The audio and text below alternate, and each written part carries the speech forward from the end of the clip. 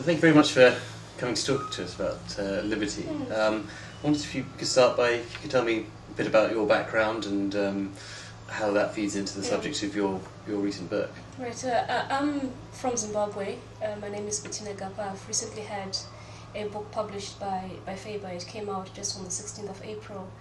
And I've come from a country that has struggled with Mm. um, this question of liberty for a very long time, in, in the most obvious sense, meaning that uh, for a long time the black majority in Zimbabwe was not able to take, you know, to, to exercise any kind of Mhm. self determination. And for that reason, a war of liberation, a war of liberty was, was fought uh, against the Rhodesian forces. We eventually achieved our independence in 1980, hmm but we've also had to grapple with what that independence means. Sure, yeah. And do, was there, is there a sort of a sustaining sort of moment of liberty in Zimbabwean history that you can look back on and, and, and sort of use that in, a, in a, the struggles now? Well, this is the thing. I mean, the one year that we celebrate, the one day, sorry, that we celebrate every year is the 18th of April. Yeah. Because that's our hmm Independence Day. But of late, it has become quite hollow. Sure, yeah, because you know while we claim to celebrate uh, you know our, the gaining of our liberty Mhm. from the Rhodesians and you know from the British you know because we're part of the British Empire we have been subjected to a lot of restrictions Mm. on our freedoms from the same government that claims to have liberated us you know? Sure, yes, Yeah, it's one of those horrible exactly ironies of, Yeah. of history, and I think it Mm. happens quite a lot through history. And I think one of the things you write about quite a lot is the sort of the psychological effects yes of living in that Yes. kind of regime. I wonder if you could yes talk about that. A bit. Yeah, th- that is actually um, a lot more disturbing. I mean, as you know, Zimbabwe is a country that has gone through severe economic and political turmoil in the last 10 years. But I actually think that the more debilitating result of all of that has been this fear that people have, the Mm. fear to express themselves. You know, this belief that, you know, certain things can't be spoken about publicly. And as a result, people don't really trust each other, even within families. You know, Mm, my mother always says to me when I go to Zimbabwe that I should be careful who I talk to. yeah. So th- there's this self self censorship Mm. that goes on quite a lot in, in people, and I think that is the most sort of severe psychological impact that you know living in Zimbabwe in the last ten years has had on people.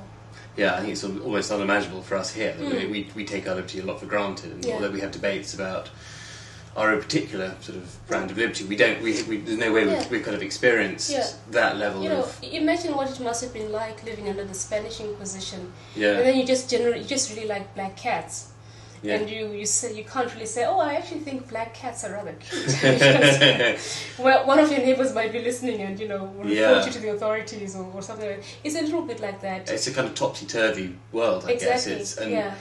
in the sort of the modern world, you, you, we know we know what freedom is. You know, the Yeah. Zimbabweans, I guess, you, know, you know more about this. That you, you know what freedom is, and it's it's uh, it's much harder that you know it's a few Mm, miles across mm. a, a border or, or on Yeah. the internet or something that's very Yeah. immediate. That but in your own sort of Yeah. world, it's Yeah. so kind of constrained. Yes, exactly. And it is constrained because there is a perception, there's a belief that has been propagated by the government that liberty is what the government wants it to Mm. mean. You know, you are free to think what the government believes and what the government says is true. Beyond those narrowly defined parameters, you can't. Yeah. Go, you can't go. Yeah, so it's, it's a sort of complete tyranny exactly. over your sort of your, your even in private your Yeah. Yeah. discussions, which Yeah. I think it's you know it's it's, it's, a, it's a blot on the world really. I think Yeah. it's, you know that Zimbabwe is a, is a byword for the kind of survival of that kind of sort of crushing tyranny that Exactly. was Yeah. you know was you know was in, until fairly recently was quite prevalent in East Europe and Yeah. Russia. And I think it, it survives as you know, in Mm. you know the most Mm. possible way. And, and it's, it's interesting that you mentioned Eastern Europe and Russia because, of course, our liberators, you know, Mugabe, the ruling uh, party, ZANU-PF, the former ruling party, I should say, they were very much inspired by, you know, uh, Marxism Mm. and, you know, communism. When, when I was a, a schoolgirl, we learned a lot of Chinese history. Right. But, you know, we sort of learned that Mao was a really good guy, you know. Yeah. And we learned a lot of uh, Russian history as well, you know, Yeah. and we, we were uh, we, we also had very good relationships with Tito before he Mhm, died, mhm. and then Ceausescu. Yeah, all, came all visiting. those kind of you know, the, you know, it, it really just uh, there was a lot of influence from Eastern Europe, yeah. and I think part of the problem in Zimbabwe is that uh, this totalitarian control um, is something that uh, that became almost uh, an, an inevitable element of, of government. Mm. Yeah, we- had a we had this one party project in the nineties when ZANU PF was trying to create a one party state, and effectively for a very long time until 1999 when the MDC was then formed, we were a one party state. Mm. If not in law, then certainly in fact. impact. Yeah. Yes, Yeah. absolutely. It's it's um, it's it's interesting to hear how much you know the history and the sort of the history of other countries is very propagandistic. Yes. It kind of feeds into you know Mugabe's sort of brand of tyranny is, is Yeah. learned elsewhere. It's Yeah. almost contagious. And you know, there's there's an interesting thing going on right now. There's a there's not a lot of writing within Zimbabwe Mm. criticizing the government, but there's a lot of writing lauding the government, Right. praising the land Yeah. reform program. It's a kind of writing that uh, one of the academics has called state fiction. Right. You know, yeah. it's sort of like uh, you know, it has a stamp of approval of the government because it happens to you know tell the government story. It is pure propaganda. Mm. You know, Mm. yeah. Yeah, and that must be quite.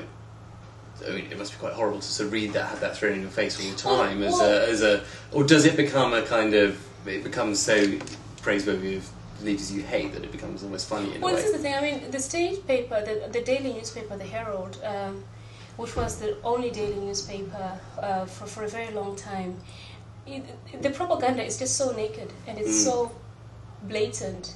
And it would be, I mean, if it was just a little bit readable, it might be a little bit better, but it's so badly written. And just like the state fiction, it's just really poor writing. Yeah, it's kind of deadening on the spirit. Yeah, I mean, exactly. it's and I think in that way, countries that are repressive, do you find that are there sort of glimmers of um, creativity and and spontaneity, or, or, or do they sort of fall victim to the, the same kind of well, I mean, political pressures? that if have? you create something um, on the basis of certain parameters, it can't be that spontaneous or Mm. that creative. And sure. usually it's really not that good. And, and this is certainly the thing that has happened in, in Zimbabwe today. There's a lot of. Uh, there's a lot of creativity in the theatre. Mm. You know, very many uh, uh, playwrights are writing play, plays that are critical of the government, but they perform for one night and then they're shut down. You know? yeah. so we've had a lot of that. Yeah.